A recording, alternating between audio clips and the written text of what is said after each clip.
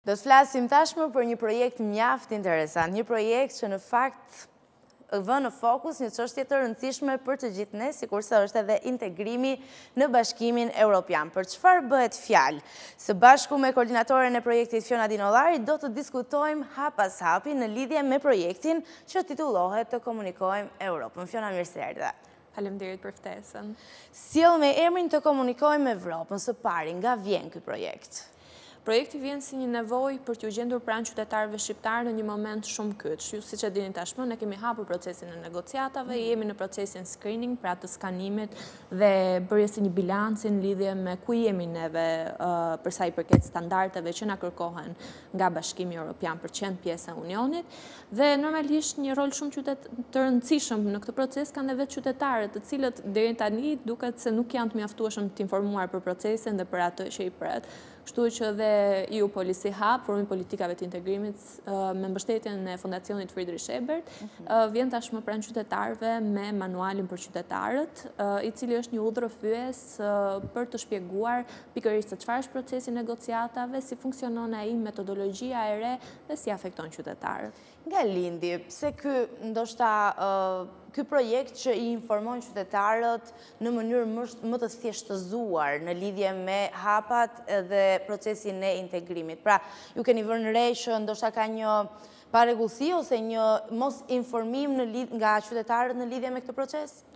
Le të themi që është pak a shumë e dypalëshme. Ne ulemi zakonisht, bëjmë tryeza diskutimi me grupet e interesit dhe na rezulton që le të themi ka një moskoordinim mes palëve në lidhje me çfarë është procesi i integrimit dhe si duhet të funksionojë ai. Mhm. Sigurisht ky është një proces i cili përfshin shumë fusha dhe që kërkon kontributin e shumë aktorëve, por qytetarët janë të prirur që ta shikojnë sikur ky është Kjo është një punë e cila i përket ekskluzivisht qeverisë. Mhm. Dhe që gjitha... Dhe nuk arrijnë të kuptojnë, ndoshta edhe angazhimin që duhet të kenë. Dhe angazhimin që duhet të kenë, po kjo vjen dhe si pasojë, sepse nuk ka patur një informim tek qytetarët për mënyrën se si ata do t'i afektojë procesi.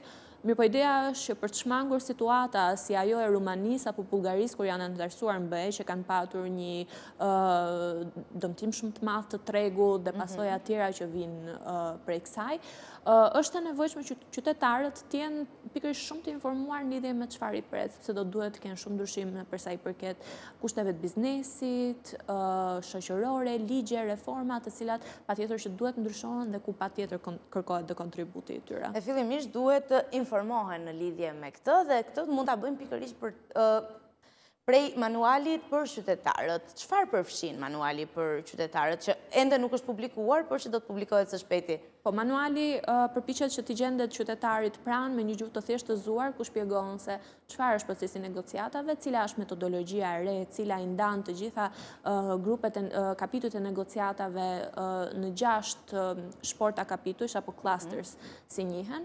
të cilat mblidhen së bashku në grupe me 5 deri nga 9 kapituj, ku mblidhen kapitujt më të përngjashëm së bashku. Dhe ndryshim nga procesi i integrimit për shtetet e tjera, procesi i integrimit për ne dhe për shtetet e Ballkanit Perëndimor, kësaj radhe do të jetë një inovacion, le të themi, ku do të hapen për shembull disa kapituj përnjëherë dhe do të punohet paralelisht me ta. Mhm. Do të hapet shporta e parë e kapitujve që përmban kapituj themelorë që lidhen me çështjet e drejtësisë, të drejta dhe të tjera të tjera. Dhe po ky kapitull do të ky po ky grup do të mbyllet sërish te fundi. Dhe normalisht që manuali ndalon për të shpjeguar le të themi pikërisht grupet edhe kornizën e re pra të negociatave, Dhe gjithashtu shpjegon edhe secilin nga kapitujt, çfarë është, çfarë përmban, cilat janë ndryshimet që duhet të kryhen, sa neve jemi përshtatur ose jo, po themi këtij kapitulli e tjera e tjera, dhe në fund dhe një listë me patjetër rekomandime për qytetarët se si mund të përfshihen më mirë në procesin e negociatave, qoftë si komunitete, apo edhe si biznese, apo entitete të tjera. Ka pasur një manual të mëparshëm, në mos gaboj, i cili ka shpjeguar procesin nga 2016 në 2020, më korrigjoni nëse jam gabim. Po, ka patur një manual tjetër, mhm. një manual tjetër për qytetarët, por duke qenë se ne vendndodhemi në një aktualitet tjetër, me një proces të ri të negociatave, i cili ka ndryshuar pra që me, që në vitin 2020 kur është shpallur metodologjia e re, Ka lindur dhe si një një nevojë, le të themi, për ta ribërë këtë manual dhe për ta ripërshtatur me kushtet aktuale me të cilat neve ndodhemi pra në start të gjithë procesit. Pra, gjithçka mund të ndryshojë, kështu që informacioni është i domosdoshëm në çdo kohë dhe duhet të jetë edhe i përditësuar për t'i ardhur në ndihmë qytetarëve. Po vetë qytetarët, për të cilët ju po punoni për t'ia bërë më të thjeshtë të të kuptuarit e procesit të integrimit të negociatave, sa interes kanë për këtë proces? Le të themi që ata mbeten entuziastë për procesin, mhm. ne duhet të sjellim në kujtesë që vetë vetë qytetarët, kur ka ardhur demokracia, kanë thënë e duam Shqipërinë si gjithë Europa. Po e dini vërtet ata se çfarë ishte Europa? Kjo është e madhe, e dinë shqiptarët. Bashkimi Europian është një strukturë jashtëzakonisht shumë komplekse, që dhe ata të cilët punojnë brenda mbase nuk e njohin plotësisht. Kështu që mendoni juve si mund të jetë për një popull i cili e ka parë vetëm së largu dhe që pavarësisht gjithë përpjekjeve që janë bërë për për ta kuptuar, për për të ecur përpara me procesin, ende ka një mungesë le të themi informacioni të cilat ne kemi vënë re kur ulemi dhe bëjmë tryeza diskutimi me qytetarët.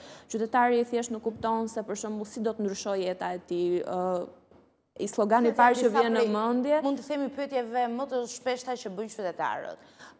Problemi është që qytetarët më tepër e lidhin këtë proces me të paturit mundësi të të lëvizurit në vendet e tjera të Bashkimit Europian. Pra, është i vetëmi qëllim ndoshta që i intereson të paktën në këto momente, kur ende nuk kuptojnë rëndësinë. Po, për shumicën është thjesht mundësia e gjetjes së një profesioni, një pune, në një vend tjetër të Bashkimit Europian për të ardhura më të larta etj etj. Ndërkohë që procesi në fakt vjen me le të themi një ndryshim të standardeve të cilat synojnë të ndryshojnë jetesën këtu në Shqipëri, pra në vendin tonë. Që ta bëjnë këtë vend të jetueshëm, që mos të na ikin këta njerëz që kaq shumë kanë interes pikërisht për integrimin në BE për t'u larguar për të gjetur një punë më të mirë, një profesion, pagesa më të mira. Pra, Me integrimin vjen edhe një jetesë më e mirë dhe më e përshtatshme për të gjithë qytetarët që ndoshta ky është momenti i duhur për ta thënë këtë edhe përmes ekranit ata që na ndjekin ndoshta mund ta kuptojnë edhe më mirë që nëse do të integrohemi do të kemi mundësi më të mira kështu që nuk është momenti për të menduar hapësira dhe mundësi për t'u larguar nga vendi por është momenti për të kuptuar procesin Pikërisht përmes manualit për qytetarët. Ka një strukturë? Pak e shumë po. Struktura është hyrja, një prezantim i procesit negociatave, si funksionon struktura, grupet e punës, e tjerë, e tjerë, pastaj metodologia e re, secili nga kapitujt dhe në fund fare një listë me rekomandime. Ne na vjen mirë, sepse në fakt janë të rinjtë ata të cilët tregojnë një interes jashtëzakonisht shumë të lartë për sa i përket këtij procesi, sepse mbase ose të paktën në mënyrën si e shoh unë mhm. si e re, nuk është më një biletë për të ikur, por është një biletë për të qëndruar. Edhe delegacioni europian në Tiranë ka atë sloganin e famshëm që Europa është këtu dhe Europa është vërtet këtu dhe neve po punojmë për ta bërë Europën këtu, pa u dashur që të ikim dhe ta kërkojmë jashtë. Një ndër pasojat që neve do të vuajmë kryesisht Një parashikim mbase jo shumë optimist do mhm. të jetë edhe ikja e trurit që ne e quajmë pra grupit intelektual të cilët do të pozicionohen. Jemi duke e vuajtur. Jemi duke e vuajtur, por mund të pritet që ta vuajmë nëse ne punojmë bashkarisht në secilin nga sektorët për ta bërë le të themi Shqipërinë tonë më të jetueshme, patjetër që do të jetë një vend akoma dhe më joshës për të qëndruar edhe për ta ndërtuar të ardhmen këtu. Në njëfarë mënyre ishte surprizuese pjesa e të rinjve sepse ishte pyetja vijuese pikërisht në lidhje me interesin e të rinjve, po me sa duket e kuptojnë ndoshta edhe për shkak të faktit që janë deri diku më të informuar në lidhje me këtë, e kuptojnë ndoshta edhe më mirë rëndësinë. Përpos interesit që e diskutuam edhe më sipër, ndalemi në një tjetër pikë të rëndësishme që ka të bëjë pikërisht me përfshirjen. Pra, sa të përfshirë janë qytetarët shqiptarë? përpos faktit nëse kanë si duhet informacion apo jo, pra përpos faktit nëse arrijnë ta kuptojnë sa duhet. Në fakt, jo shumë të përfshirë. Le të themi që dhe vetë administrata, punonjësit e administratës të cilët janë duke punuar, le themi first hand me procesin, mbase nuk janë ende shumë qartë për mënyrën se si funksionon ai. por që normalisht që kjo është diçka që do të qartësohet me kalimin e kohës dhe që pikërisht dhe manuali i vjen në ndihmë qytetarëve për ta kuptuar dhe më mirë. Pra ky është një instrument dhe për punonjësit e administratës për t'u ulur për të kuptuar punën le themi që i pret përpara.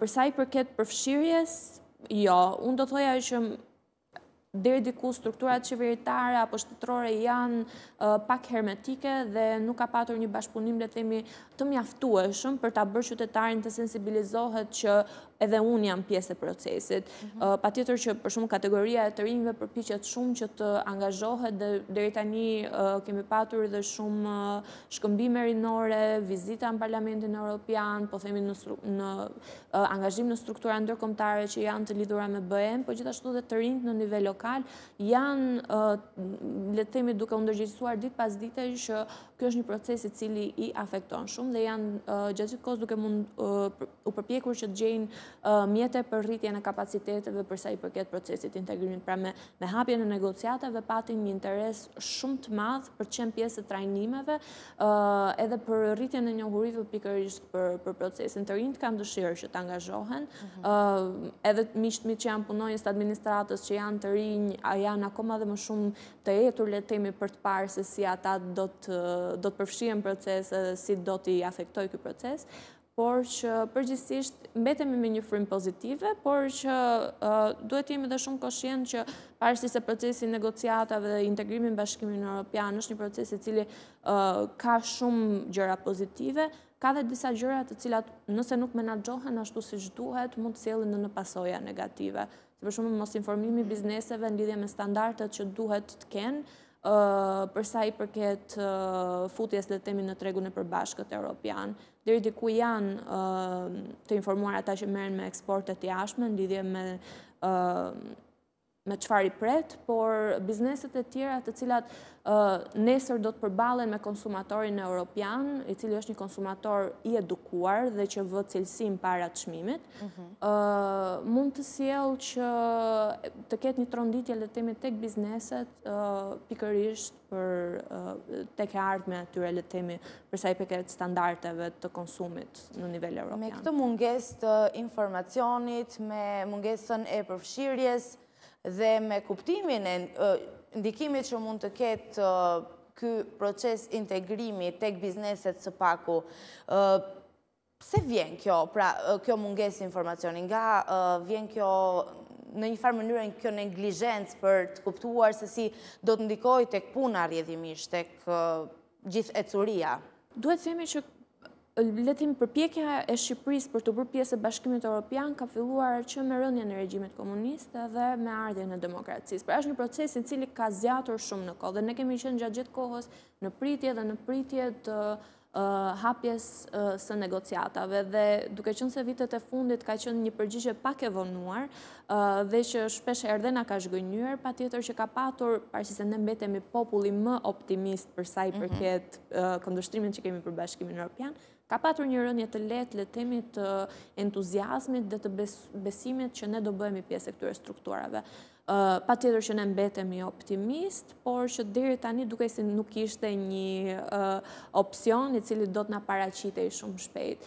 Megjithatë njerëzit qytetarët mbeten shumë optimistë, neve para disa kohësh kemi zhvilluar një studim tjetër i cili maste perceptimin e të rinjve për sa i përket pritshmërive për afatin kohor në cilin ne do të bashkohemi unionit dhe shumica e të rinjve besonin që neve do të bëheshim pjesë e unionit për 10 vjet, që ky është një skenar shumë optimist. Po le të themi që duke marrë parasysh situatën, burimet që ne kemi, shpresojmë që ai do të jetë një skenar Të paktën në këndvështrimin tënd, a është e mundshme ky skenar, kjo shpresë e të rinjve për 10 vjet?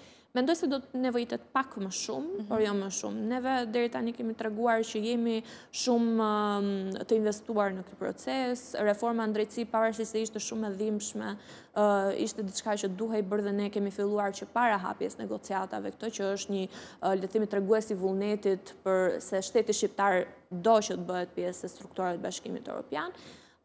por që jemi ende larg, pasi edhe në këndvështrimin e disa ekspertëve, edhe nëse neve luftojmë shumë mirë me fenomene si korrupsioni, prap hasemi me të tjera çështje të cilat na lënë një hap mbrapa, për shembull përsa i përket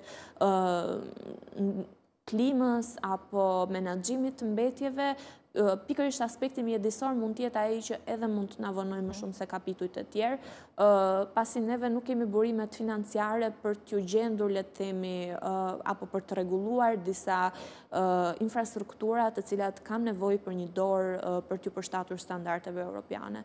Megjithatë, duhet parë në një këndvështrim optimist, unë zgjedh të mbetem mhm. optimiste gjatë gjithë kohës, neve në procesin e negociatave ka emri negociatë, pasi neve faktikisht nuk negociojmë në këtë mhm. proces, e vetmja gjë që ne negociojmë është koha. Kështu që normalisht me disa lëvizje politike të zgjuara, neve mund të themi që kemi nevojë për kaq vite, për të rregulluar për shembull sistemin e kanalizimeve, dhe besoj që duke qenë me një arsyetim të kënaqshëm si për ne, po dhe si për palën e Bashkimit Europian, do të kemi le të themi një të mesme të artë që do të na lejojë që të ecim para me procesin e negociatave. Mbetemi pak tek roli i qytetarit, sepse patjetër edhe qytetarët kanë rolin e tyre. Cili do të ishte? Pra, çfarë do të mund të bënin më mirë qytetarët shqiptarë për t'i ndihmuar këtij procesi, për t'i dhënë një dorë edhe qeverisë, edhe negociatave dhe gjithçka e tjetër? Ka shumë nivele që patjetër që procesi i negociatave i prek. Së pari njëherë, nëse do të përqendrohemi në nivelin teknik, është e nevojshme që qytetarët të informohen në lidhje me profesionin e tyre dhe si puna e tyre konkretisht ndikon në ecurinë e procesit. Mhm. Pra nëse një qytetar ka një biznes të prodhimit të vajit të ullirit, për shembull, si duhet që të standardizojë makineritë, le të themi, për të prodhuar një vaj ulliri i cili është me standardet europiane. Nëse një qytetar është fermer, atëherë ai patjetër që duhet të marrë një informacion se cilat janë për shembull produktet të cilat lejohen për fertilizimin e tokave nga Bashkimi Europian, si mund ta modernizojë procesin, si mund të përfitojë nga fondet IPA për të për ta çuar përpara le të themi biznesin e tij, si ta standardizojë atë po ashtu.